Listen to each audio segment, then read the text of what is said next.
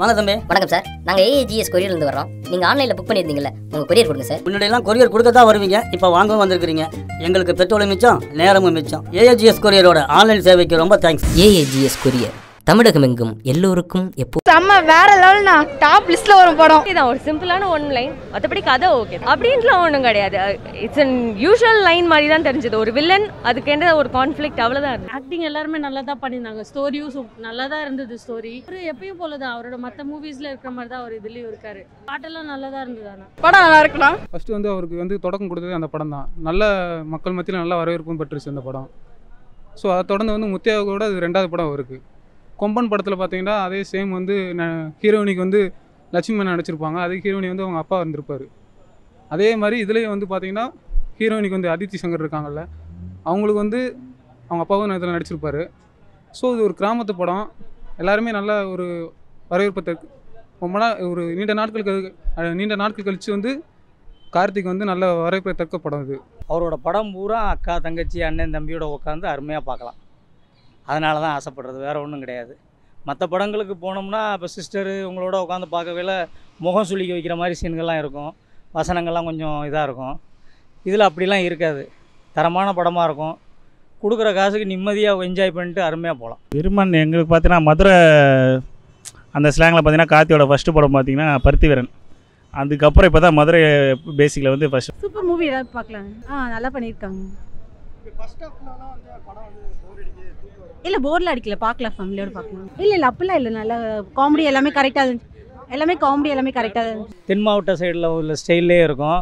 இப்போ மேக்ஸிமம் பூரா அந்த மாதிரி ஆக்ஷன் படம் தானே விரு- விரும்புகிறாங்க கிராமத்து ஸ்டைலில் தூ ஐடி தூக்கி கட்டி ஃபைட் பண்ணுறது முத்தையாவோட ஃபிலிமை பார்க்குறோம் நம்ம இதுக்கப்புறம் இப்போ லாஸ்ட்டாக எந்த விஜய் சேதுபதி சார் படத்துக்கு அப்புறம் முத்தையா இப்போ எடுக்க போகிறோம் ஆ ஃபேவரபிள் தான். ஒரு சில ஒரு சில இடத்துல வந்து இந்த சண்டை காட்சிகள் இருக்கிறது அது இந்த இடத்த பொருள் இருக்கு இருக்குல்ல அது மக் மக்கள் மத்தியில் நல்லா வரவேற்பு பெற்றது தான். கார்த்தி சாருக்கு எந்த ரோலில் நடித்தாலும் நல்லா தான் நடிப்பார்.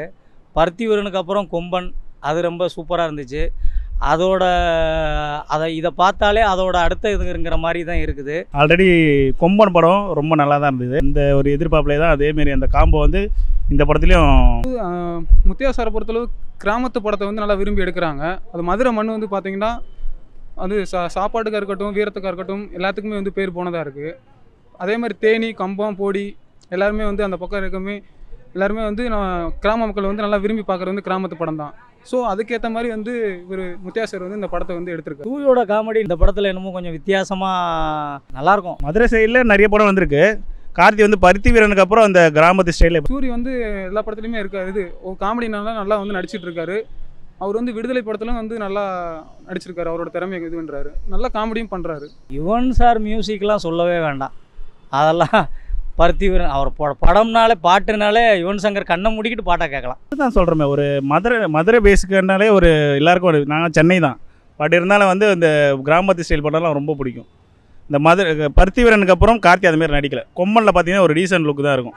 மொத்தவோட காம்பல் ஏன்னா அதில் வந்து ராஜ்கிரண் இருப்பார் நம்ம லக்ஷ்மி மேனன் இருப்பாங்க. பட் ஆனால் இதில் வந்து கொஞ்சம் டிஃப்ரெண்ட்டாக பிரகாஷ் ராஜ் அதெல்லாம் நிறைய பேர் காம்போ இருக்குது யுவன் சங்கர் ராஜா. அவர் பாட்டு நல்லா அந்த கத் அந்த பாட்டு வந்து நல்லா வந்து நல்லா மியூசிக் டைரக்ட் போட்டிருக்காரு. நல்லா இசையும் போட்டிருக்காரு இந்த படத்தில். அவர் தான் நிறைய பேட்டிலேயே சொல்லிட்டாரு. எனக்கு தெரிஞ்ச கதை காலத்தில் தான் நான் எடுக்கிறேன். வேறு இதுலையும் எடுக்க மாட்டேன். எனக்கு தெரிஞ்சதில் போய் செய்கிறது ஈஸியாக இருக்குது அதுவும் போக ப்ரொடியூசர் யாரும் முன் வரல அப்படிங்கிற மாதிரிலாம் பேட்டி நிறைய கொடுத்துருந்தாரு. அதான் அவருக்கு தெரிஞ்சதே செய்யட்டும். இதை போய்கிட்டு வேறு ஏதாவது ஸ்டைலில் செஞ்சு அவருக்கு பாவம் இதாகக்கூடாதுல்ல? ப்ரொடியூசரும் முன்வரணும் இல்லையா அதுக்கெல்லாம்? இல்லை முத்தையா பொறுத்த வரைக்கும் முத்தையா டைரக்ஷனில் பொறுத்த வரைக்கும் இதுமாரி வல்கரா இது வரைக்கும் இருந்ததில்லை. நான் முத்தையா படம் நிறைய படம் பார்த்துருக்கேன். ஸோ அந்த ரிலேட்டட்லாம் இது வரைக்கும் மேபி இப்போல்லாம் கொஞ்சம் கம்மியாக தான் இருந்துகிட்ருக்கு இருக்கு படத்தில்.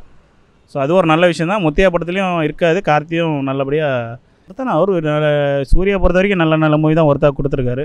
ஸோ அதில் பார்ட் ஆஃப் ஒன்று இதுவும் இருக்கும். மறக்காம ஃப்ரீ ஸ்டோன் ஸ்டுடியோ சேனலை சப்ஸ்கிரைபர் பண்ணிக்கோங்க. அப்படியே அந்த பெல் பட்டனையும் கிளிக் பண்ணிக்கோங்க. உங்கள் ஆதரவு எங்களின் பலம்.